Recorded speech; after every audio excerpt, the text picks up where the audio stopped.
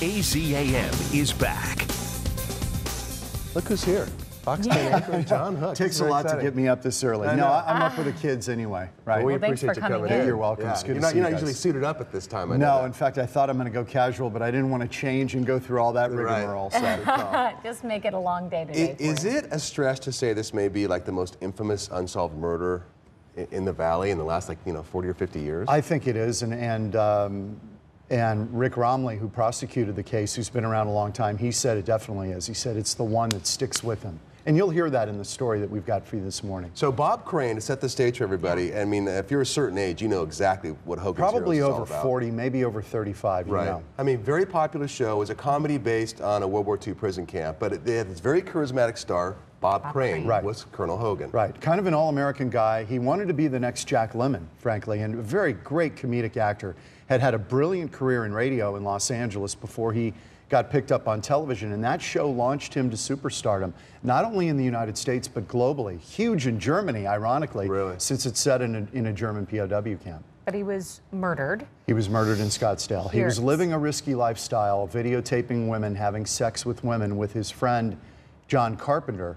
And that's where Carpenter became the focus, started to become the focus as the killer. And then blood was found in Carpenter's car, matching Crane's blood type. But the jury in 1994, when it finally went on trial, the blood, the tests were inconclusive for DNA. This is right around the time of O.J. Simpson. The tests weren't as good. Exactly. They weren't as sensitive. And so the jury said, well, it's great you've got this blood, but we can't prove it's Bob Crane's. Therefore, they acquitted John Carpenter of the murder. So let's take a look right now at uh, some of your piece tonight. Okay. Roll it. Hogan's Heroes and star Bob Crane still beloved by millions around the globe. Crane was one of the most recognizable faces on television, and his death remains one of the top unsolved celebrity murders of all time. During my career, I've had a lot of big cases, but the Bob Crane case tops them all. Crane was in Scottsdale, starring in Beginner's Luck at the Windmill Dinner Theater when he was found bludgeoned to death in his apartment in June of 1978. Crane's longtime pal, John Carpenter, was in Scottsdale at the time. He and Crane shared a dark obsession videotaping women that they had sex with. Carpenter became the prime suspect when blood matching Crane's rare blood type was found in Carpenter's rental car.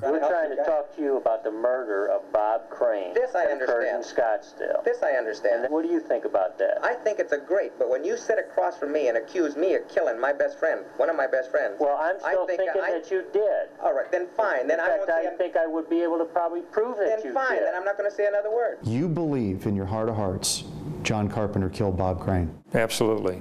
No doubt. No doubt. 100%. 100%. Carpenter eventually went on trial in 1994, but DNA tests at the time could not positively link the blood found in Carpenter's rental car to Bob Crane.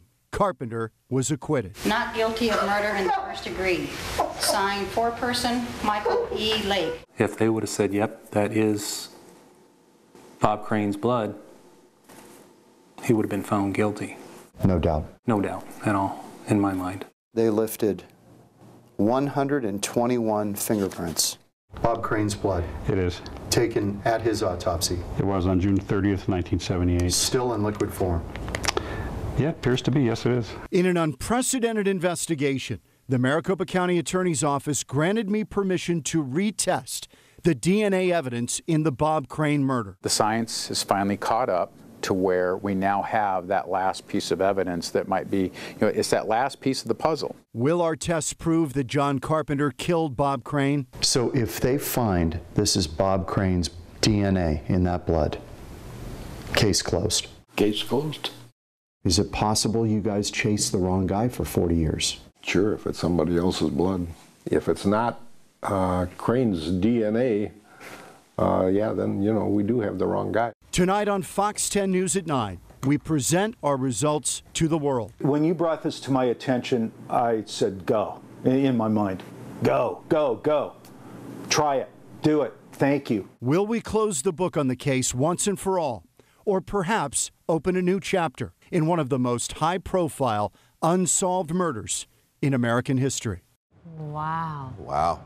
Okay, and uh, the killer is We've got good data. Okay. We've got good data. And we can watch We have a result. We have a result. And and uh, you're an author. Yes, it became such an obsession, Troy. Um, in the middle of this, I said, "There's just too much, too many backstories. I've got to write a book about it," and I have, and it's it's available. You can go to WhoKilledBobCrane.com and pre-order. The book will come out in February. I'm still there's still a chapter to be written, obviously, um, but the book will be available. But you can pre-order it now, and it's available Amazon, Barnes and Noble, all your all your booksellers. bookstores. Yeah. This is fascinating. Wow. It's, I- it's I a really, liked interesting him case. as a viewer. He's such a Oh, likable and, and guy. a great father, by the way. His kids absolutely adored him.